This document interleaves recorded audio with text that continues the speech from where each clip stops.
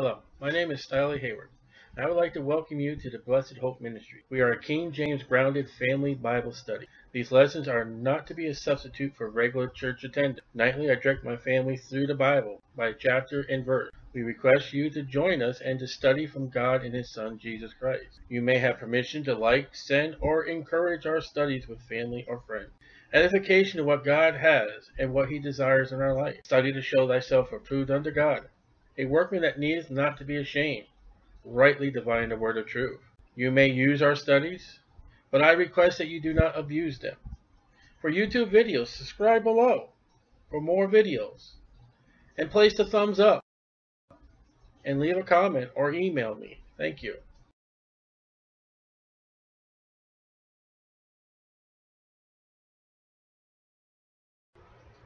Genesis 47. And Joseph came and told Pharaoh, and said, My father, and my brethren, and their flocks, and their herds, and all that they have are come out of the land of Canaan. And behold, they are in the land of Goshen. Now, Goshen is on the eastern side of the delta of Nile. It's also called, uh, we're going to see in verse 11, the land of Ramses. And like my wife said the other day, they're separated from the Egyptians. They're in another community. You got a Egyptian, oh, I'm trying to think what they used to call it when I grew up as a boy, neighborhood, and they got a Jewish neighborhood in the Bible. And he took some of his brethren, even five men, we don't know which one, five of his brothers.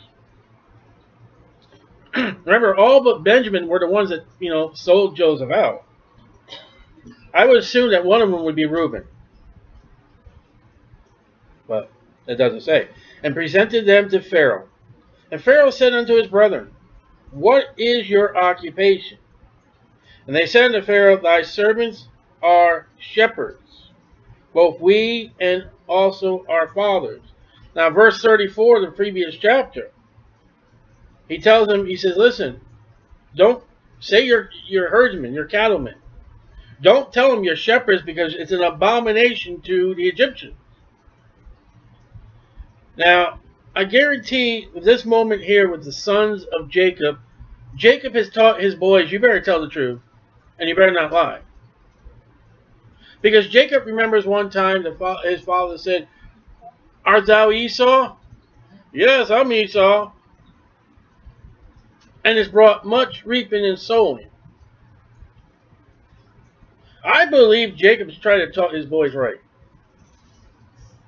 Joseph says, tell a half truth. It's not a lie, but it's true. You do take care of cattle, but you also take care of shepherds. I mean, you take care of sheep and your shepherds. Well, you know what Pharaoh needs? You know what the ruler of a nation needs? He needs a shepherd to stand up and tell the truth. No matter who in the government says, you know, Get in there and preach the truth. Listen, that's what Nathan did to David. Thou art the man. David didn't need a yes man. We and also our fathers, Isaac, Abraham.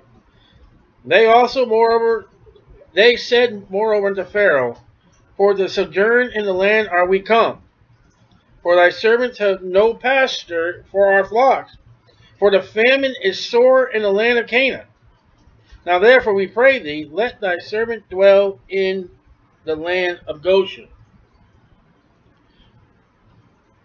And it's kind of weird because Joseph told his brothers, come here, I'll take care of you. The famine is yet, I forget how many years still. Pharaoh tells Joseph, bring your father, bring your brethren, here's the wagons, bring them. Joseph is like, I'm going to go see, I mean, Jacob is, is saying, I'm going to go see my son, my long lost son. The sons are saying, you know what, that land we just left was not able to, to take care of us. The famine is so sore. So, and Pharaoh spake unto Joseph, saying, Thy father and thy brethren are come unto thee. Here they are. They're, they're here. I acknowledge it. Making notes in my Bible. Mark your Bibles, Jeremiah says, so I do. And the land of Egypt is before thee. Whoa! How come Pharaoh is not minding the abominations? How come he is taking this one group of people and he say, you know what, come here. You're welcome. He could have. And then what God told Abraham, Abraham has brought on Isaac, and Isaac has brought on Jacob is, I will bless them that bless thee, and Pharaoh's being blessed. This is no ordinary Pharaoh. Now the Pharaoh in Egypt where I'm the God, I'm the king. And here he's we read in verse 34 that shepherds are abomination. Not to this Pharaoh, he's not. I'll tell you, Jacob has been faithful. He's been faithful in Potiphar's house. He's been faithful in prison and Joseph, and he's being faithful in Pharaoh's house. Do you know another man in the Bible outside of Jesus Christ who's been that just as faithful? Paul. Paul is going before kings and princes and queens, and he is faithful to the word of God. And the lands of Egypt is before thee. In the best of the land make thy father and brethren joy.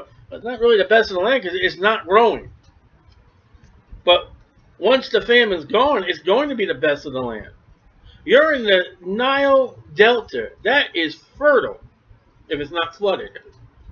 But once it's not flooded, the Nile River is the resources and it's a god to the Egyptians because it produces fish, reeds. It's a crop. It's export. In the land of Goshen, let them dwell. And if thou knowest any men of activity among them, that then make that yeah, try that. Men of activity among them, then make them rulers over my cattle. Joseph? Yes, sir. Anybody like your like you among your family? You put them as my cattlemen. You put them in charge of my. What about the Egyptians that would be in charge of them? You're going to have Jewish men in charge over Egyptians in Pharaoh's home. The ones that you imagine walking up. Well, who you guys? We're the, we're the brothers of Joseph. The shepherds? Yeah, we don't stand shepherds. Well, that's okay because we got I got this ID, I got this this paper, I got whatever it is to show that I am now in charge of these cows. Oh. Gee, what, what is Pharaoh doing to this nation? We got to impeach him because he's letting these people do this. Oh, my, we never had such a Pharaoh like this a whole lot of time. We got to get rid of him. That's what America would cry. So Joseph has been so faithful that your brothers are going to be like you. How are we doing, Christians, as living? How are we doing? How are we doing professing Christians? Hmm? And Joseph, you know, the, the, one of the worst people as my studies, and I, have done the Institute studies of the Bible, one of the things, two of the things I've heard from three different men, as far as warnings of going into ministry, watch your business conduct with other Christians because they'll do you wrong. Now, isn't that a great thing for a minister of a of a of an instructor to a student of the Bible that you got to watch out for other Christians? And it's true. I've seen it. And Joseph brought in Jacob. Now here's his father, his father, and set him before Pharaoh. And Jacob blessed Pharaoh. You got the age going before the king and saying, you know, blessed him. Pharaoh has been blessed by Abraham, Isaac, Jacob for taking care of the family of Abraham, Isaac, and Jacob. Isn't that remarkable? And Pharaoh said unto Jacob, How old art thou? Hmm. And Jacob said unto Pharaoh, The days of the years of my pilgrims are a hundred and thirty years. Wow, he's 130 years old. The guy just walked and got an animal from Canaan to Egypt.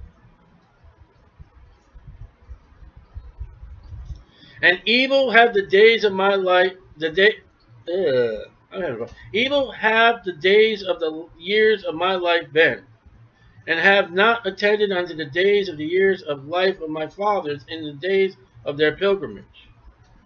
And Jacob blessed Pharaoh and went out from before Pharaoh. So Pharaoh gets a double blessing.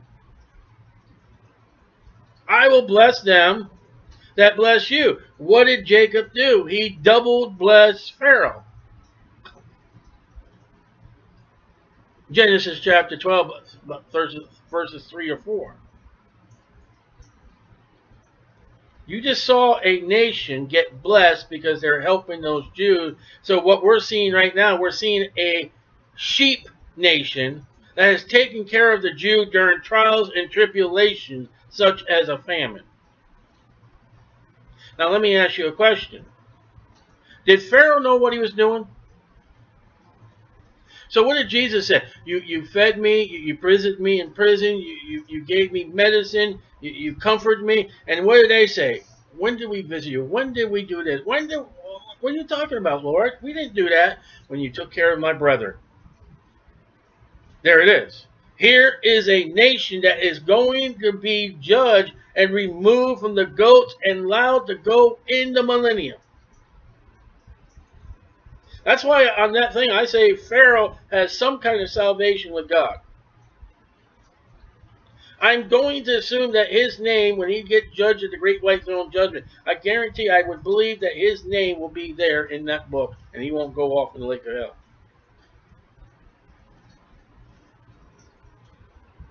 And Joseph placed his father and his brethren and gave them a possession in the land of Egypt, in the best of the land, in the land of Rameses. Again, that's Goshen. The best. Get this, as Pharaoh had commanded. Joseph is following orders by his boss. You give him the best. Kind of weird, these outsiders.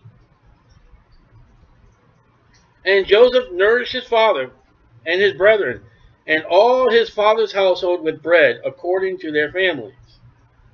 So, you know, Joseph's in charge of the barns. He's in charge of the corn. Here, Dad. Here, brothers. Here's my family. Eat.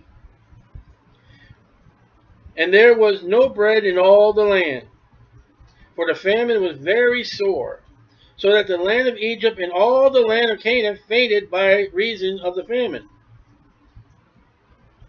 So it spread out. Jacob and his family would have died had not God sent Joseph into Egypt and J Joseph being faithful. And Joseph had no idea what he was doing. As we don't have any idea what God will do for us if we allow ourselves to be used by God in normal, everyday things.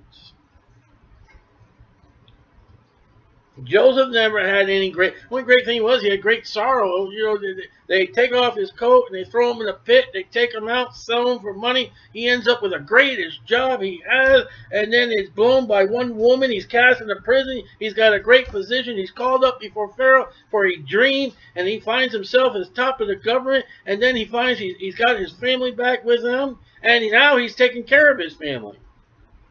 That mean, rotten Joseph who's got dreams, let's just take care of him and see what happens to dream. They're all singing around the table. Let's thank the Lord and Joseph for this corn we're about to eat. I said, let's thank Joseph and the Lord. Let's thank Pharaoh and Joseph, God the Father, God the Son. Let's thank him for the bread. So Joseph is feeding his household. Do you know anywhere in the scriptures where Jesus fed his family? Where Jesus fed his the, the people, the children of Israel? 5,000, 4,000. There's Joseph taken care of. It's got to be. We read off the numbers last night. 66 and then 70 going, that's not, yeah, how about the people of Israel? I mean, the people of Egypt. How many is he feeding?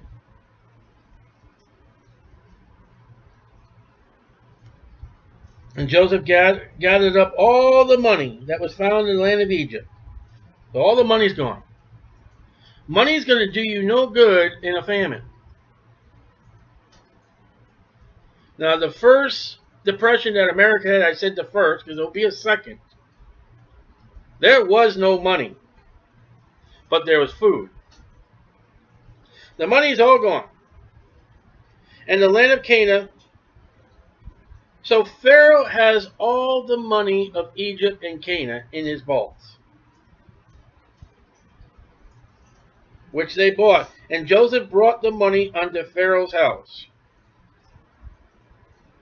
Now, unless it's those coins that you unfoil and you have fine chocolate, it's not going to do you no good. You're going to sit down and eat a coin. You can't eat a coin unless you grind it up very fine. Like Moses did with that, that sacred cow. And made the children drink of it. I don't think that's a good idea here. What'd you do with that, that, that nickel you had? I drank it last night. No, that's not what you're going to do. The money's gone. All the money's gone.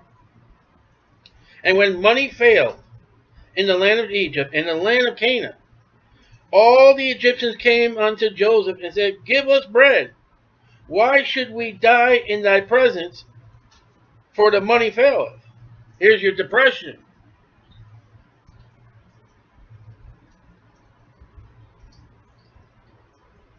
And Joseph said, Give your cattle, and I will give you for your cattle if money fail. All right, so give me give me your livestock. The livestock is no good right now. There is no grain. There is no wheat. There's no barley. That's what the cows eat. You've got meat right here, right now. Sirloin steaks, hamburger meat, pork if they had pigs. But it's not going to do no good if they're skinny. Remember Pharaoh's dream? You could count the ribs on these animals. They're, they're no good for food. They're lean and ill.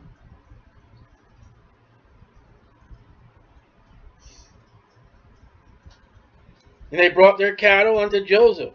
And Joseph gave them bread in exchange for horses, and for flocks, for cattle of the herd, and for the asses, and he fed them with the bread for all their cattle for that year. You realize how much corn Joseph laid up? Pharaoh has all the money in his palace or whatever he calls his building. I don't know what they call it. Now Pharaoh takes a walk outside of his outside of his palace one day. He's like, "What is that smell? What is that I hear?" All around them, there's horses, there's pigs, there's cattle. They're all penned up. And he walks over to Joseph and says, "What's going on here? They're all yours." For the people for corn, they're all yours. And the cattle are being brought jobs for the children of Israel. Because Pharaoh said that all the men of your family take care of those cattle. There's jobs in this depression. And they're given out by Joseph of his brethren. They're working for their corn. The Egyptians are paying. But the Israelites are working. Isn't that interesting? And when that year had ended, a year, just a year, that's it, a year, ended, they came unto him the second year. They said, We will not hide it from my Lord. How that our, our Lord, my Lord? You know, that's what they called Jesus, even though they didn't believe Jesus, that's what they called Jesus, Lord. Interesting. How that our money is spent my Lord also has our heritage of cattle. There is not left in the sight of my Lord but our bodies and our lands. Now, Job 2 4, Satan says, I'm not going to quote rightly, but all that a man has, he'll give for his life. They have given up their money.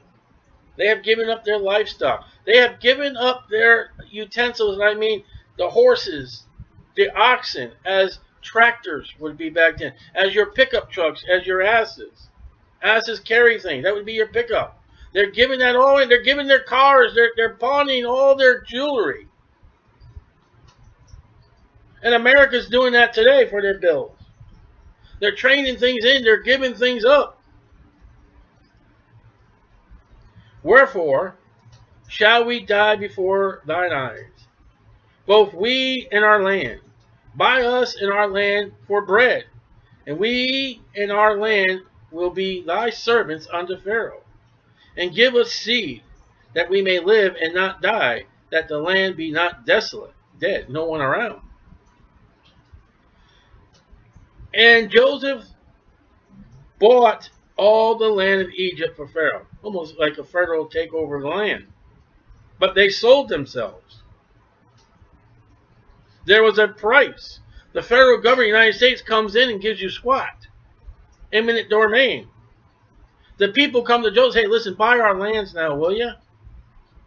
We will trade our land.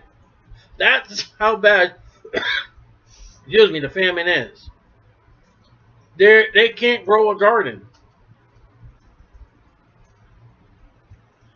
Give us seed that we may live and not die, that the land be not desolate. And Joseph brought all, bought all the land of Egypt from Pharaoh, for Pharaoh, for the Egyptians sold every man his field, because the famine prevailed over them. So the land became Pharaoh's. The land, the money's gone, the animals are gone, now the land is gone.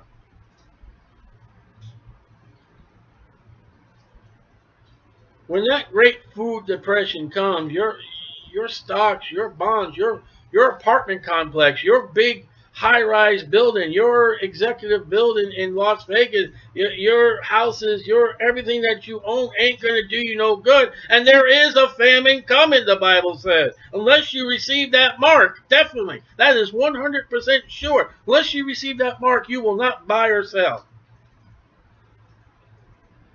And it won't be Joseph giving it to you, it will be the Antichrist. And with that, you'll damn your soul. At least there's mercy with Joseph. And as for the people, he removed them to cities from one end of the borders of Egypt even to the other end. Federal displacement of people. You better you better study history because what people fear and say, oh, that's one of them, oh, what do they call it? Conspiracy theories. Here's a conspiracy theory that happened in the book of Genesis. Joseph marched them off into displacement places. Joseph, a man that's right with God, took the people and moved them off. What do you think a man's going to do who's not right with God? Okay? Well, you see the United States government in here. Only the land of the priest bought he not. For the priests had a portion assigned to them of Pharaoh, and did eat their portion which Pharaoh gave them. Wherefore, the, wherefore they sold not their land. Here is federal tax exempt status for the church. And these guys are not worshiping God. It's the only wrong I see Pharaoh doing. And these are the same gods that worship the sun disk and, and, and things that have round circles around their head and, and their queen of heaven and Isis and all that and their Easter god bunny and you know woman of fertility and the alligator god and that they got some weird looking gods. One looks like a wolf or dog or something. You know what Jesus said when it came to, to Christians and taxes? If it belongs to Caesar, give it to Caesar. Paul says if it comes to taxes and tribute, pay that to the government. Peter says if you got uh, taxes or anything like that, you pay it. Peter, are we supposed to pay taxes here? Well, we kind of. Uh, why don't you go down and go catch a fish, and inside that fish is tax money. You know what federal recognized tax exempt money does for your church and your community? It makes their property value and taxes higher. If you don't pay taxes in your area, your county, your your town, or or your city, this piece of property is not being taxed, and your neighbors are going to now pay more because you don't.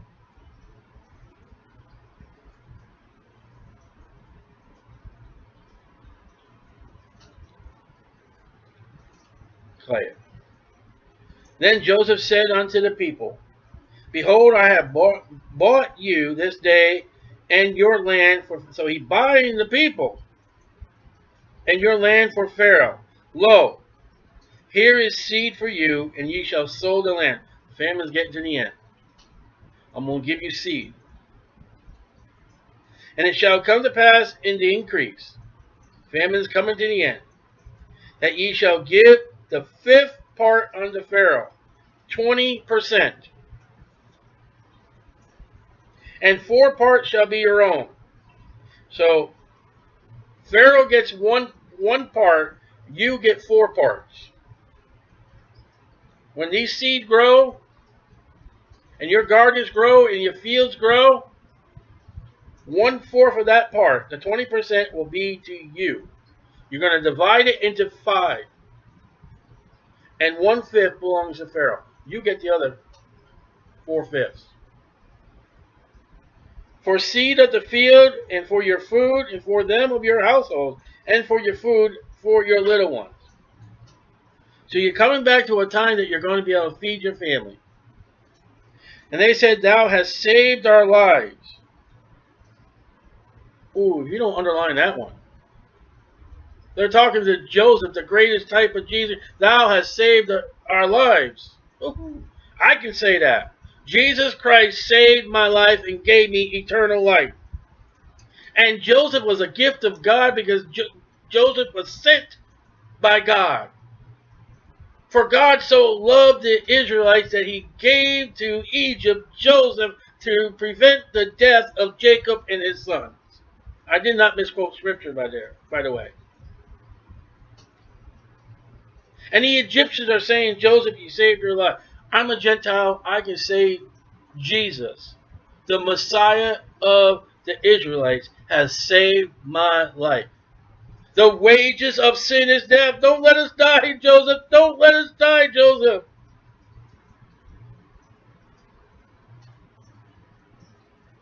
Thou hast saved our lives. Let, it, let us find grace in thy sight of the Lord. Let us find grace. Let us find grace. That's great. marker. E. How much you miss when you're reading. Find sight of my Lord. Joseph, let us find grace in the sight of Jesus. And we will be Pharaoh's servants. I hope we that are saved that can say Jesus saved our soul. I hope we can say that we find grace in your sight and that we serve God. Hope we can say that. I I don't know if I can say it to the fools. I don't know how much of a servant I am to God. And Joseph made it law. Oh, Joseph. Come on, we're going to have a tea party, Joseph. Making laws. Taxing us, Joseph. You're mean and wicked, Joseph. How dare you tax us? That is not fair. We're gonna have a we're gonna have a meeting at the at the at the city hall. We're gonna meet at the town hall. We're gonna prevent Joseph from taxes. Every Christian involved in that mess doesn't know what the Bible says. Because a man that's working by God, that is of God, that's protecting the people and protecting the people of God, he applied taxes. And God said, I like that.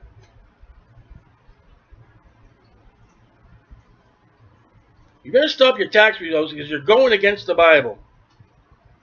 And Joseph uh, made a law over the land of Egypt unto this day that Pharaoh should have the fifth part, except in the land of the priests. There we go.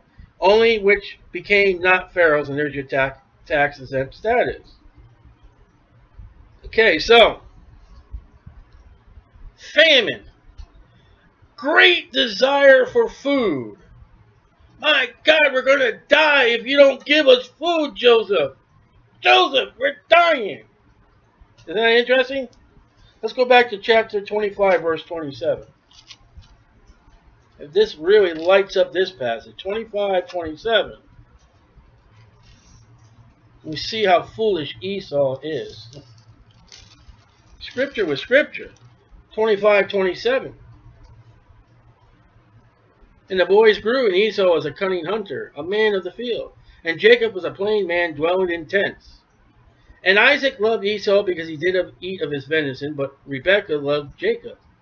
Jacob sowed pottage, beans. And Esau came from the field, and he was faint. And Esau said to Jacob, Feed me, I pray thee, with that same red porridge, for I am faint. Therefore his name is called Edom. You weren't as starving as the people in Egypt were, and you sold your birthright. Now let me ask you a question. Where did Joseph learn how to do what he was doing, but he learned it from his father? And we only know that he was there to his father about 13 years, four, oh, 14 years old. And we see the wisdom of Jacob passed on to. It's almost like, all right, here's here's our money. What we're gonna do? Well, sell me the birthright. No, give me your cattle. we need more. What are we gonna do? Give me the birthright. No, give me your lands. That's exactly what Jacob did. But Esau was not that starved. You notice you haven't seen Esau and his family come here yet? You, you don't mention anywhere Esau or Edom coming for food. Isn't that interesting? All the land of Canaan is coming. And we're not finished with the book, the chapter. And Israel dwelt in the land of Egypt, in the country of Goshen. And they had uh, possessions therein, and grew and multiplied exceedingly. In a famine? They're multiplying. And Jacob lived in the land of Egypt 17 years. 37 2, chapter 37, verse 2.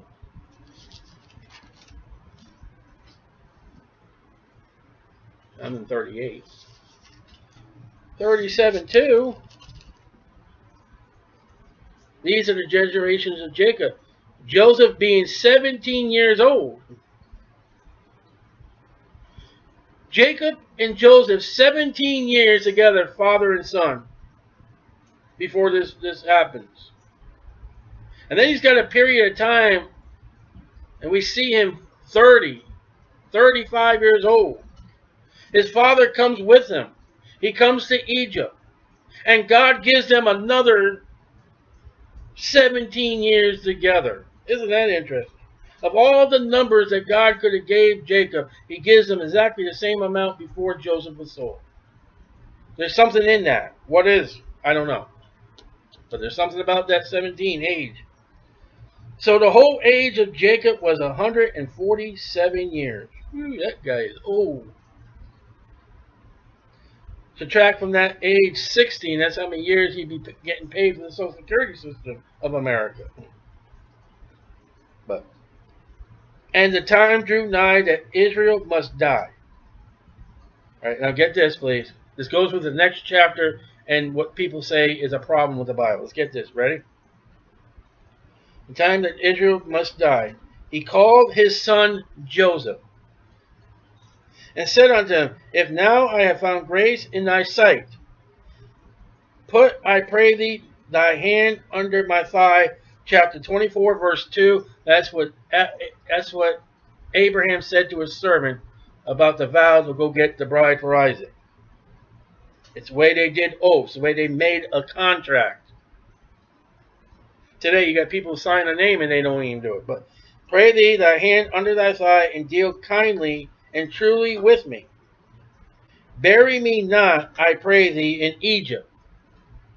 Now Joseph will follow this. He'll tell his brethren, hey, carry my bones out of Egypt. If my dad did not want to be buried in Egypt, you carry me out. Joseph was obedient to his father. Son, go out and see what your sons are doing. Yes, Dad. But I will lie with my fathers, And thou shalt carry me out of Egypt, and bury me in their burying place. And he said, I will do as thou hast said, Joseph said. And he's now Joseph is only one in the room. It is Joseph and his father only.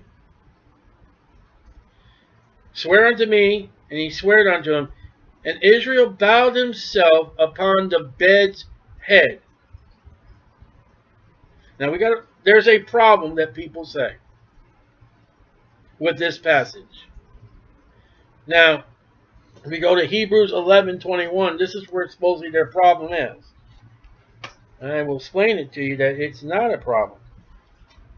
Hebrews 11:21. People are so foolish when it comes to the Bible.